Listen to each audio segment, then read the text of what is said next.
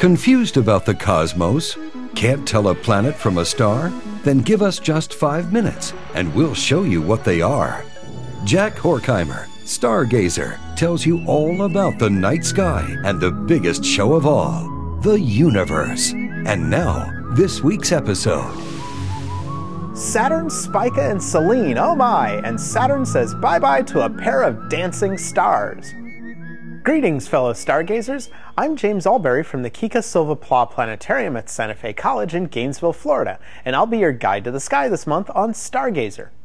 September is almost here, and next week we'll see the moon have a close encounter with both a star and a planet. And we'll also see the second largest planet in our solar system say farewell to a starry companion. Wondering what I'm talking about? Here, let me show you. Alrighty, I have our sky set for just after sunset facing west. Directly above the western horizon, you'll see the familiar triangle of bright lights that we've been talking about since April.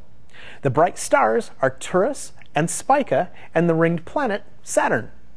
You can find the trio by following the handle of the Big Dipper toward the star Arcturus, and then trace another line from Arcturus down to Spica. Just to Spica's right is the planet Saturn. On Wednesday, August 31st, you'll see the moon form a neat little triangle with Spica and Saturn. Then, the next day, Thursday, September 1st, the moon, Spica, and Saturn will form a nearly straight line in the sky.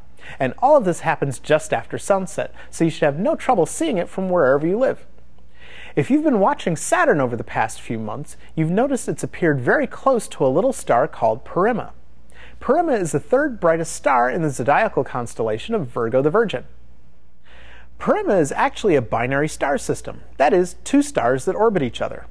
Both stars are a little bigger than our Sun, they're yellow-white in color, and it takes them almost 169 years to orbit each other one time. The stars are usually far enough apart that in a small telescope you can actually see them individually. Unfortunately, the way the stars appear right now, it's very difficult to see any separation between them.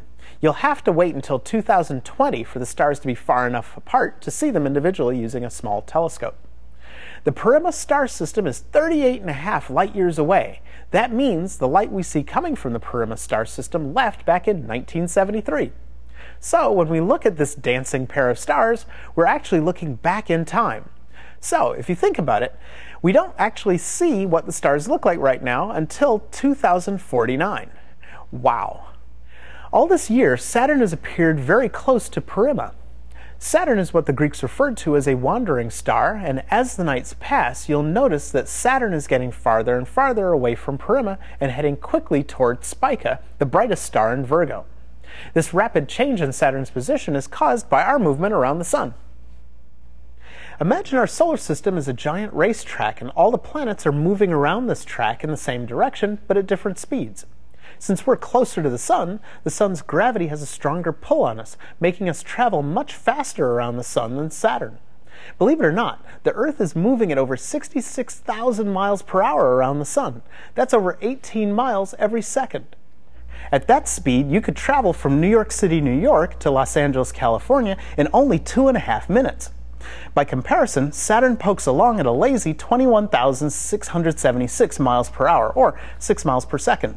So, in effect, we're leaving Saturn behind, and in a few months, we'll be on the opposite side of the solar system from Saturn. As the Earth travels around the Sun, Saturn will appear to move faster in the sky in the direction of Spica, thus moving away from Porrima. Then, after we come around on the, the Sun on the other side, Saturn will appear to loop back to where it was in the sky before. But this time, Saturn will be 12 degrees farther east in the sky than where we left it. So, Saturn and Porrima are going to be saying farewell to one another and won't be this close in the sky again until winter 2040. Alrighty, well, out under the stars with you, my friends, and see this pair while you can. And remember, whatever you do, keep looking up. Make the Stars Your Own is available on DVD or VHS for 1995. In addition, Stargazing with Jack Horkheimer, Cosmic Comics for the Skywatcher is also available for 1995.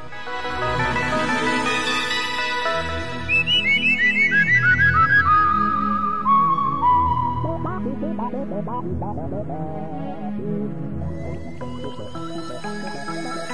you.